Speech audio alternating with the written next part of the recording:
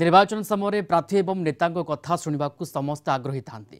ସେମାନେ କ'ଣ ପ୍ରତିଶ୍ରୁତି ଦେଉଛନ୍ତି ଏବଂ କିଭଳି ଭାବେ ଭୋଟରଙ୍କୁ ଆକୃଷ୍ଟ କରୁଛନ୍ତି ତା ଉପରେ ସମସ୍ତଙ୍କ ନଜର ରହିଥାଏ ତାକୁ ଦୃଷ୍ଟିରେ ରଖି ଆମର ଏହି ସେଗମେଣ୍ଟ ନେତା ଉବାଚ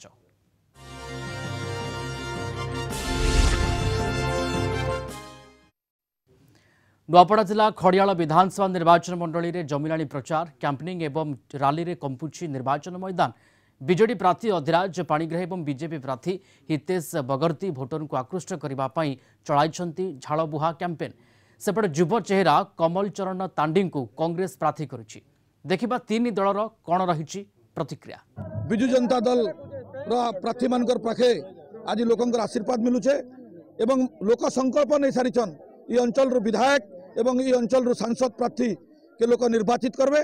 ଏବଂ ମାନ୍ୟବର ମୁଖ୍ୟମନ୍ତ୍ରୀ କେ ଷଷ୍ଠତର ମୁଖ୍ୟମନ୍ତ୍ରୀ রে বসাবার পাই লোক নিষ্পতি নিয়ে সারিছন আজ প্রত্যেক যোজনা লোকঙ্কর পাখে পৌঁছিছে যা বি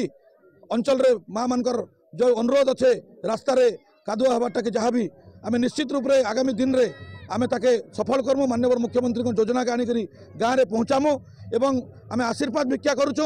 আমার বিশ্বাস আছে যে এই অঞ্চল দুই দুই জন প্রার্থীকে সাংসদ প্রার্থী এবং বিধায়ক প্রার্থীকে বিপুল সংখ্যায় লোক ভোট ଦେଇକରି ଜୟଯୁକ୍ତ କରାବେ ଭାରତୀୟ ଜନତା ପାର୍ଟି ସରକାର ଯେ ଆଗାମୀ ଦିନରେ ଆସିବା ଓଡ଼ିଶାରେ ଆଉ କେନ୍ଦ୍ରରେ ନରେନ୍ଦ୍ର ମୋଦି ସରକାର ଆସିବା ପୁରା ଗ୍ୟାରେଣ୍ଟି ରହିଛି ହଣ୍ଡ୍ରେଡ଼ ପରସେଣ୍ଟ ଏବେ ଚାରିଶହ ପାର ନିଶ୍ଚିତ ଭାବରେ ଆମର ପ୍ରତିନିଧି ଆମର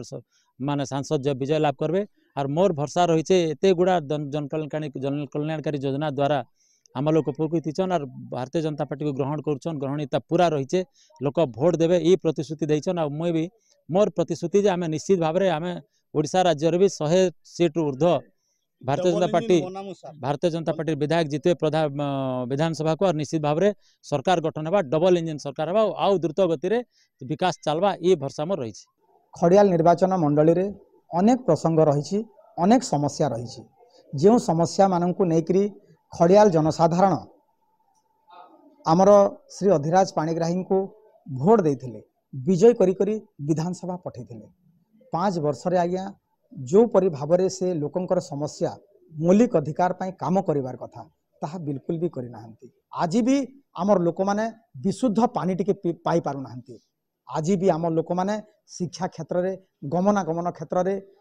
ବହୁତ ଅପହଞ୍ଚ ଆଜ୍ଞା ତାଙ୍କୁ ସେ ପଲି ମୌଳିକ ଅଧିକାର ମିଳିପାରିନାହିଁ ଏସବୁ ପ୍ରସଙ୍ଗକୁ ନେଇ ଆମେ ଜନସାଧାରଣଙ୍କର